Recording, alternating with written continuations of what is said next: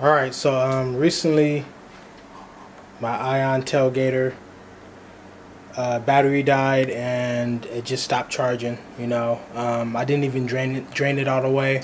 Uh, it just stopped charging when I had the battery low. So um, right now, I looked at some videos on, uh, I mean, some some stuff on uh, Google, and people said the Ion block rocker is easy to replace the battery, but for the tailgater, it's a little bit more trickier. So I'm here to kind of help some somebody out, you know, because I like helping people out, you know.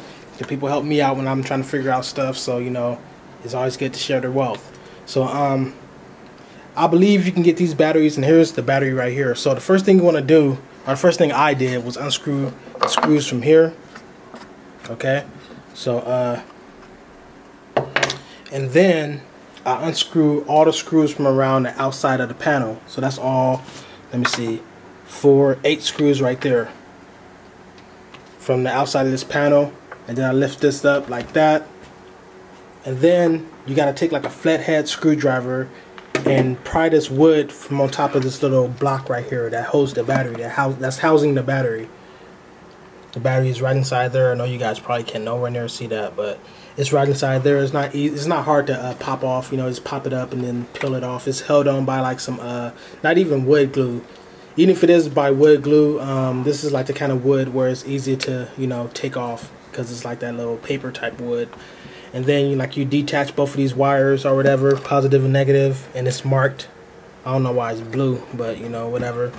And you just slide them right off right off the little nubs right there. So I'm gonna see if I can, right here on camera, see if I can push this out. So I'm pushing it from this side right here, you know.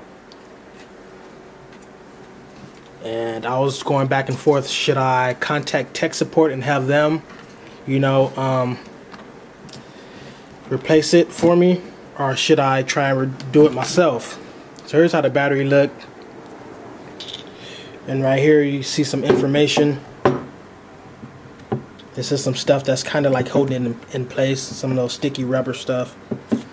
But you know it's not gonna hurt anything. But here's like you know the voltage and, and amps and stuff like that. It's a little small battery.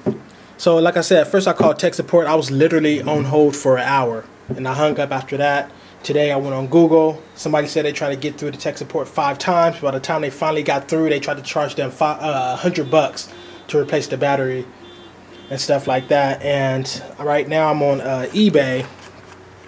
And to replace the battery, let me cut my brightness down some. So on eBay it's 30 bucks. You know, it looks like the same battery. I don't know if it's the exact same battery, but you know, and then somebody else said they got them at uh, what's Radio Shack for 25 bucks. And it's the same kind of battery that's inside a power wheel or whatever. So um, we're gonna see what's up. You know, uh, I'm gonna take this to Radio Shack. Hopefully they got something that's this size and the same voltage and wattage and all that kind of stuff.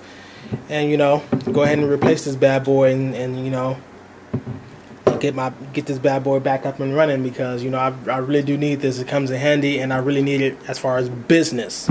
You know, I, I shoot videos, so this is this is needed. This is like a must-have for you know my music videos. I gotta have this. Like this is not even like something that oh I want this. No, I need this. This is like part of my business. So like you know, I needs that.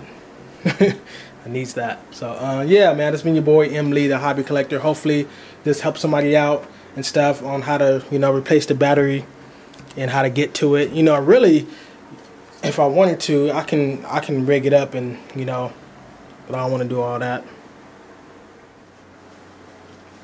So remember, all you need to do is unscrew these four screws right here, and they're different lengths. So make sure you separate them, you know, in all four, so you can know how to put them back in.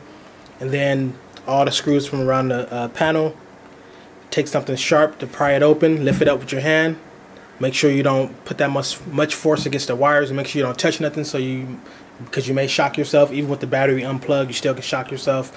Um, make sure you don't you know make sure if you're gonna touch well make sure you don't touch these electronics because you can mess up the electronics by your own static from yourself. So that's why I always keep a static wrist wrap in in my house whenever I'm working on something. And then you know just push the battery out from the inside because it's kind of snug. So um, yeah, it's been your boy M Lee the Hobby Collector. Thank you guys for watching. Hopefully I helped somebody out. And thanks for everybody out there that put out videos like this as well, helping other people out. I'm out. Peace.